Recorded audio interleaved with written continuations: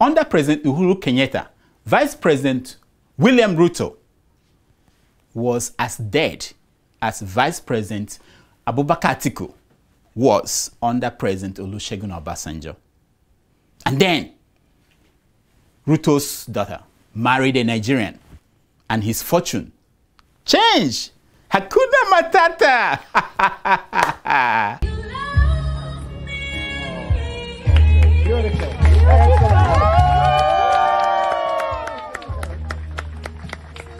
Now, now, the event was 12 hour ceremony.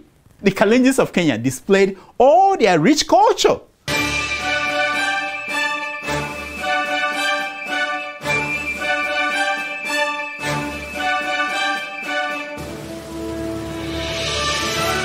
Ah!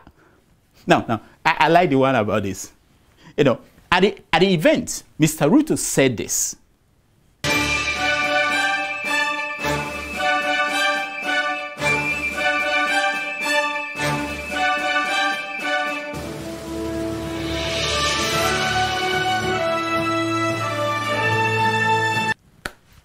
It is both an exciting and anxious moment.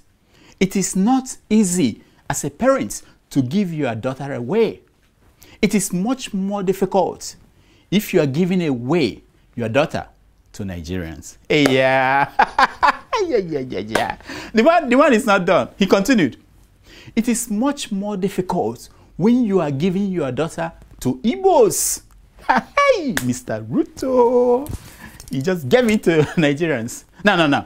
I believe that this will be the moment that changed the fortune of Mr. Ruto. You know, even though Kenyan men are angry that another of another Nigerian has uh, stolen another of their daughters.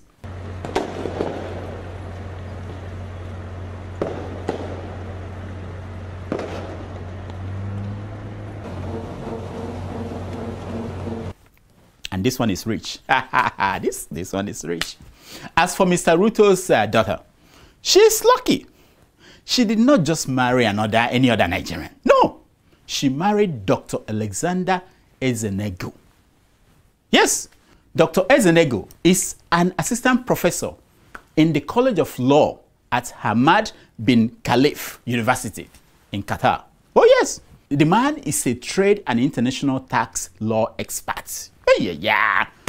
He specializes in international tax law, domestic tax, tax avoidance, and commercial aspects of illicit financial flows, trade, and investment advisory. Yeah, yeah, yeah, damn! Now I know why uh, Vice President Ruto loved the, the man. You know, Maisha Ningumu. Kenyans complaining that another Nigerian man has taken their woman do not know that Vice President Ruto needed this man more than his daughter. Yes, he needs a man who knows how to deal with tax avoidance and illicit financial flow.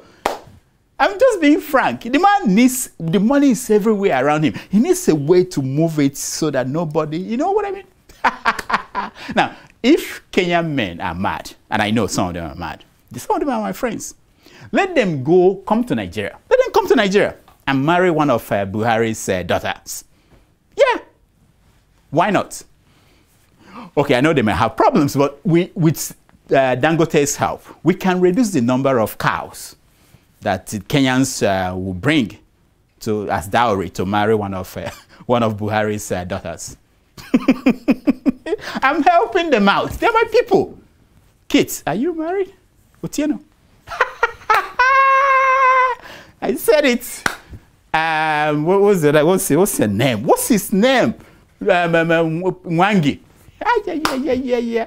I, I mean, this is chance. We're giving you discounts. Nonsense.